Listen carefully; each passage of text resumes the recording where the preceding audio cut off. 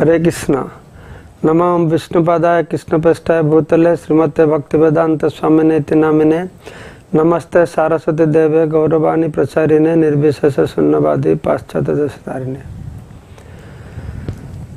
सिद्धा Mayapur is the centre of Navadvip Dham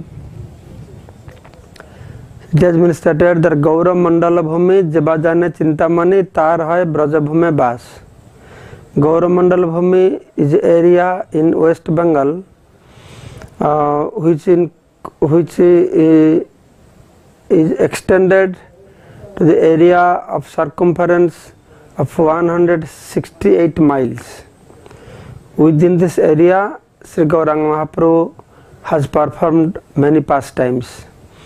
So at the center of Gauromandal Bhumi, there is Navadvip Mandal, Navadvip Mandal is 32 mile circumference.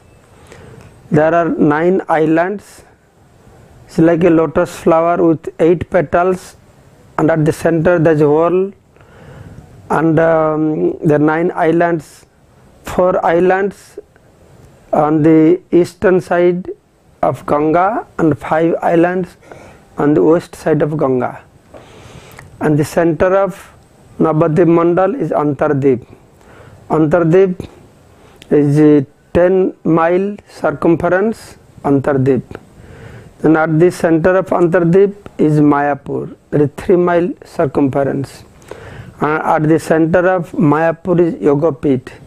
Yogopit is the point where Lord Chaitanya Mahaprabhu, Lord Gauranga Mahaprabhu, he appeared on this earthly planet. So this Navadip Dham is known as Audarya Dham. The Supreme Personality of Godhead has unlimited forms and through unlimited forms he releases unlimited rasa or bhava. So out of unlimited bhava, three are most prominent, Aishwarya bhava, uh, Madhurya bhava and Audarya bhava. So Dwaraka is Aishwarya bhava and uh, Vrindavan is Madhurya Bhava. But Navadip, it is Audarya Bhava. Audarya Bhava means very magnificent, munificent, and very merciful. And Gauranga Mahaprabhu is the most merciful incarnation of Supreme Personality of Godhead. So he appeared in this Kali Yuga uh, to distribute love of Godhead to everybody, whether to considering any qualification. This is, this is his magnanimity. And the Shastra says, more will progress, the glory of Navadip Dham and Mayapur will manifest more and more and will spread all over the world. And more will progress, the glory of other dhams will be more hidden to the people. And we can see that also practically that 50 years before, hardly Anybody would know about Navadip or Mayapur. Now we see that this Mayapur Navadip Dham has become so famous that people from all over the world, America, German, Japan, China, Russia, Australia, from everywhere, people are coming to this Navadip Dham. So, the Navadip Dham is most merciful Dham and Gauranga Mahaprabhu is most merciful incarnation. So he came to deliver the fallen people of this Kali Yuga because people of Kali Yuga are very fallen and sinful. So the Lord has to manifest that particular form which is very merciful. And that particular form is Gauranga Mahaprabhu form.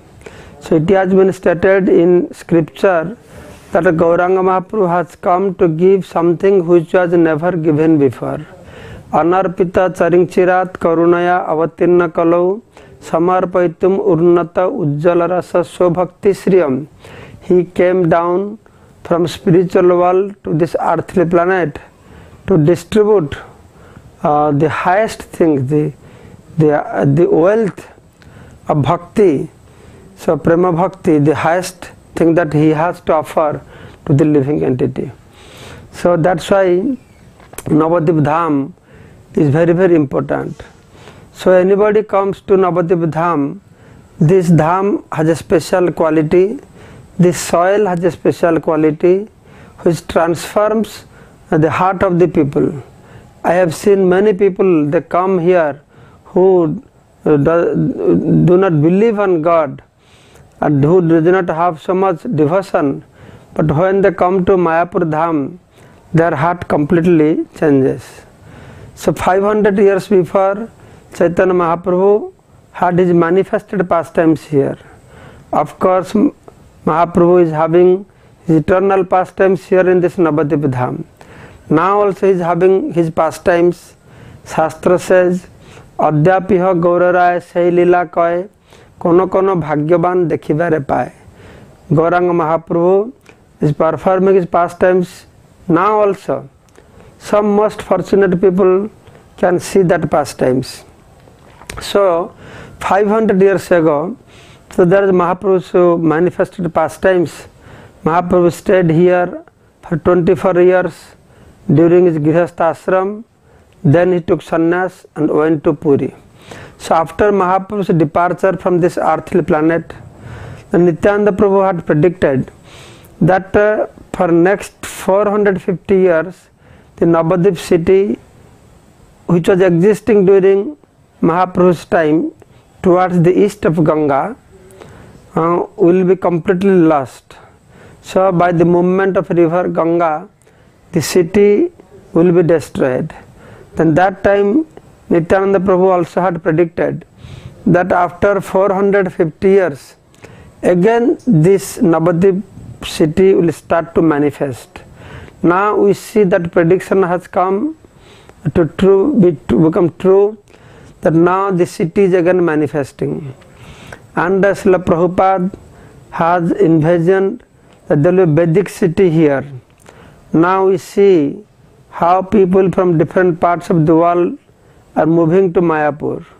Right now we have devotees from 49 different countries residing in Sridham Mayapur and Mayapur is unfolding day by day through mm, through in different ways thousands of pilgrims visiting Mayapur school Gosala Gurukul especially the temple of Vedic planetarium one of the most wonderful creation on this earthly planet to glorify the supreme personality of Godhead the tallest and biggest temple uh, on, the, on the whole planet, where Radha Krishna with Ashtasakhi, Bhagavan, and Guru Parampara, Nisingadev Bhagavan, Prahlad Maharaj will be worshipped.